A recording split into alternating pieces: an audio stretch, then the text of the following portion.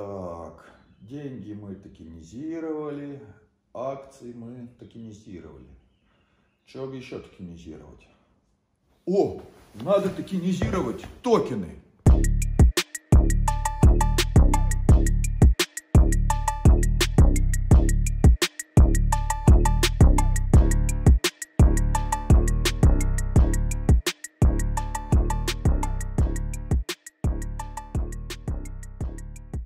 Процесс токенизации начался еще до появления блокчейна, а массовые выпуски токенов появились смарт-контрактами на Этериуме. И нам на самом деле уже давно известны токены на токены. Они известны нам как Warped токены.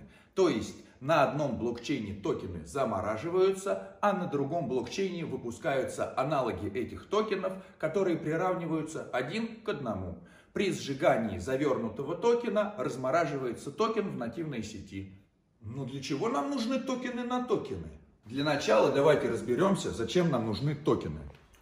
Вот у меня есть токен на пшено, вот у меня есть токен на дерево, а вот у меня есть даже токен на овцу. Мы выпускаем токены для облегчения экономической деятельности. Например, есть у нас дом, и нам сложно передавать дом из рук в руки. Мы выпускаем токен на дом и начинаем торговать этим токеном. Или, допустим, у меня есть доллар, мне сложно передавать этот доллар от одного человека к другому. Я выпускаю на него токен, и теперь я могу торговать этим токеном. Самое главное, чтобы у всех была полная уверенность, что один токен полностью соответствует тому, что он представляет. И, как правило, мы используем токены тремя разными способами. Первый способ использования токенов – это его нативный способ. Например, у нас есть метрополитен, мы выпустили токен на проезд в метрополитене, и люди покупают токен на метрополитен, чтобы проехаться на метро. Второй способ использования токенов – это торговля этими токенами. Мы можем обменивать одни токены на другие, и это известно нам как рынок. И многочисленные биржи, как централизованные, так и децентрализованные, ведут торговлю токенов одни к другим. Третий способ использовать токены – это пополнение токенами пула ликвидности. Вы можете быть провайдером ликвидности на децентрализованных биржах, отправлять свои токены в пулы ликвидности и после этого получать процент с тех, кто производит обмен токенами. Теперь, когда нам ясно, зачем нам нужны токены, перейдем к тому, зачем нам нужны токены на токены. Как правило, у каждого токена в нативной сети есть конкретное применение. Например, у StarName есть токен IOF, за который я могу зарегистрировать себе криптодомен, как у них принято называть звездное имя. Кроме того, что я могу за IOF зарегистрировать себе звездное имя, также я могу делегировать свой IOF, или, как говорят сейчас, застейкать и получить вознаграждение от сети за предоставление безопасности сети.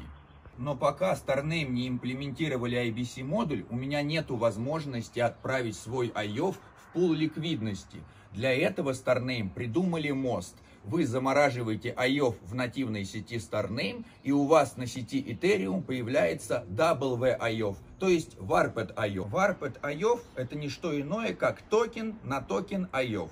Я не могу использовать Warped IOV для того, чтобы зарегистрировать себе звездное имя.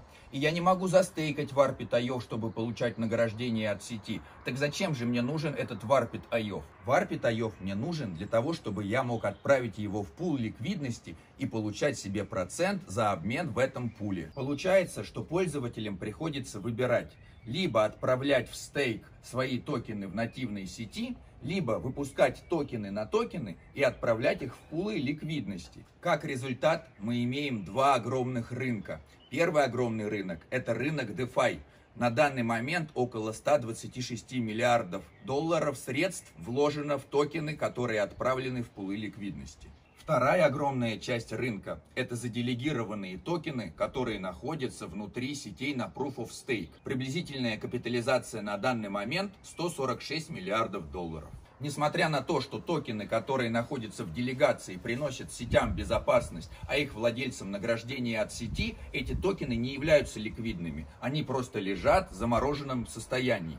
Как бы было здорово, если бы мы могли взять и весь этот рынок заделегированных токенов отправить в DeFi. И решение этому есть. Процессе исследования различных экономических моделей на Proof of Stake Persistence пришли к гениально простому решению, которое они называют модель двойного токена. Теперь пользователи смогут насладиться двумя плюшками одновременно. Они смогут отправить свои токены в стейк и получать за это вознаграждение от сети, и они смогут отправить токены на эти токены в пул ликвидности и получать за это вознаграждение за предоставление ликвидности.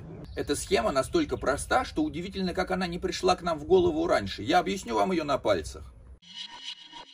Persistence создали два смарт-контракта первый из которых принимает токены из нативной сети и создает на них warped токены в сети Ethereum, а второй смарт-контракт не просто замораживает токены из нативной сети, а отправляет их в делегацию к валидаторам, в результате чего вы продолжаете получать награждение от сети за те нативные токены, на которые вы выпустили warped токены в сети Ethereum. Завернутые токены в сети Ethereum вы можете отправить в пул ликвидности, быть провайдером ликвидности и получать за это также вознаграждение.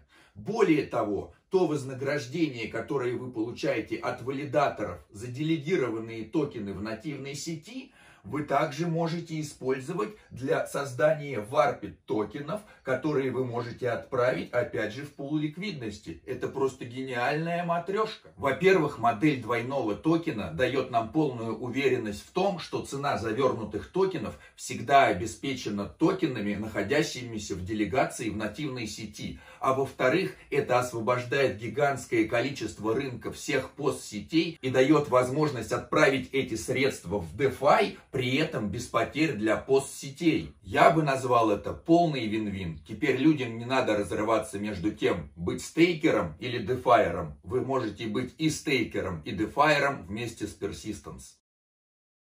Между прочим, я являюсь валидатором Persistence, и название моего валидатора PostHuman. Комиссия всего 3% до конца 2021 года. Всем стейкерам я предлагаю подготовиться к DeFi, а всем DeFiерам я предлагаю присмотреться к постпроектам.